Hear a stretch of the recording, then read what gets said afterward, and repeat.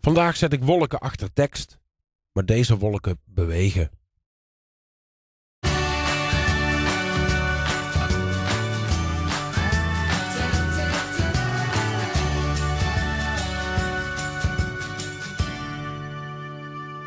Ik heb al eerder filmpjes gemaakt over het bewerken van video's in Photoshop. Klik anders hierboven even voor de link van de introductie daarin.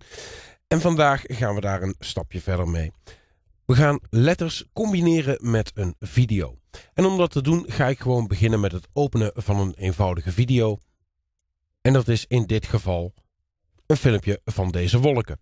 Nou, als je even snel door de tijdlijn heen speelt, dan zie je dat het eigenlijk gewoon alleen maar wolken zijn die zich ontwikkelen.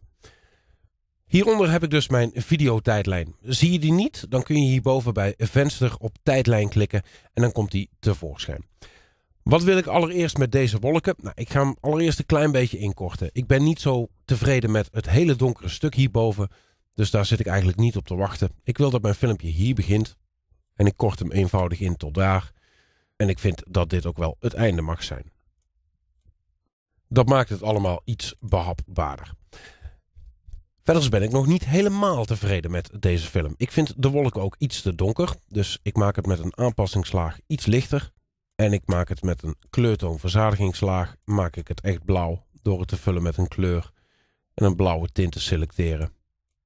En laat ik hier eens vanuit gaan. Hier moet ik dus ook nog gewoon letters bij plaatsen. En dat doe ik heel simpel door hier aan de linkerkant het tekstsymbool te kiezen.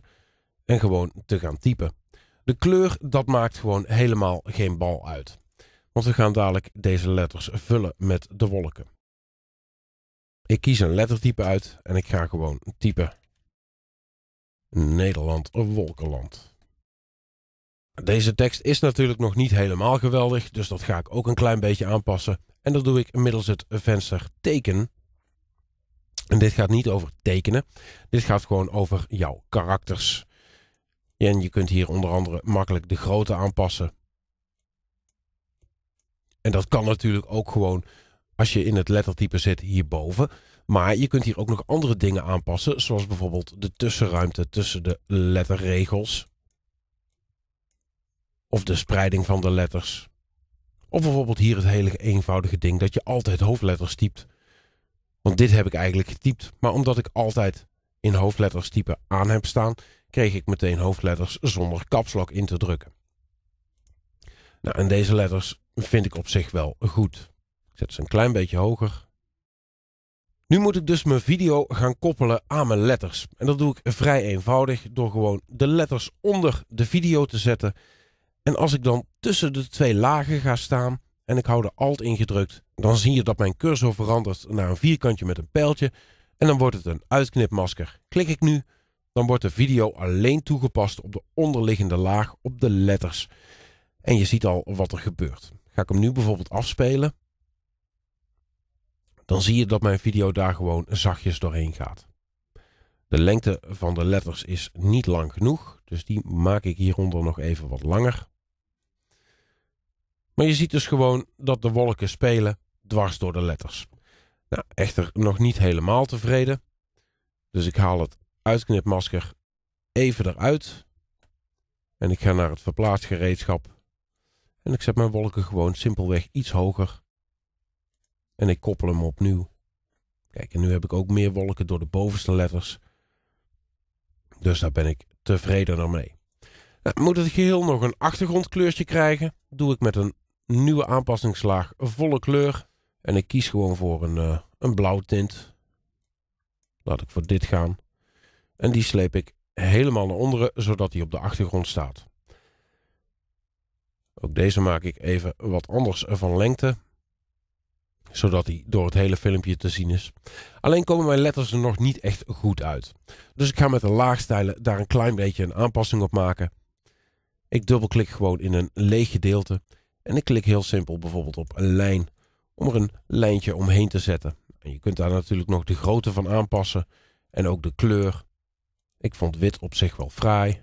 En een klein, dun, chic lijntje van bijvoorbeeld vier punten. En ik klik ook nog een keer schuine kant en relief aan.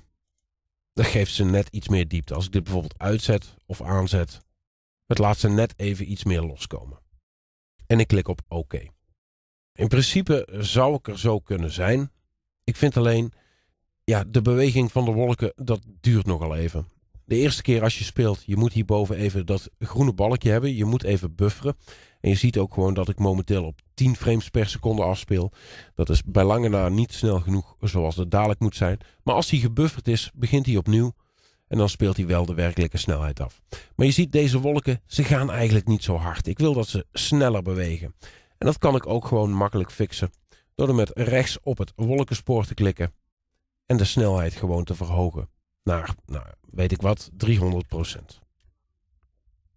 Mijn video wordt dan wel korter. Dus ik mag alles in gaan korten. En als hij nu afspeelt en zometeen klaar is met bufferen en dan nog een keer opnieuw afspeelt, dan zul je zien dat mijn wolken eigenlijk gewoon veel sneller gaan. Kijk maar. Het wordt al interessanter om te zien.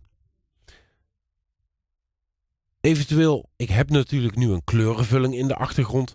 Eventueel zou je daar ook nog een afbeelding in kunnen zetten. Dat je letters dus gewoon boven op een andere wolkenfoto zitten. Ik zou zeggen, tot zover. Bedankt voor het kijken en tot de volgende keer. Doei doei!